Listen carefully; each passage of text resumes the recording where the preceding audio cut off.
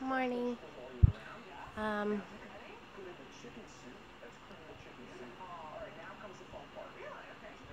I guess today is technically day four. Wednesday, Thursday, Saturday. Oh yeah, technically day four. Um, just got up. Only thing I noticed today is that my gums still have that dry feeling when I wake up. They're not burning anymore, but it's just dry. My face is still swollen.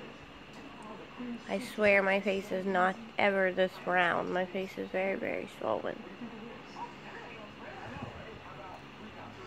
But I am feeling better today, as long as I make sure this tooth doesn't keep jabbing up there into the top, I'll be alright.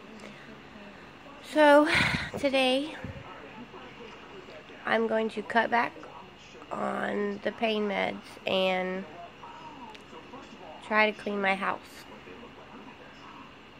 Because I've really been slacking off past couple days. And it's a mess.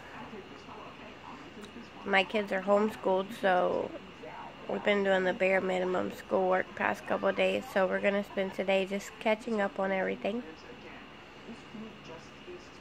And that's it. I feel better this morning than I did yesterday. I still regret not getting the dentures. I still hate being without teeth, but I'm feeling better because I feel like it's healing pretty fast.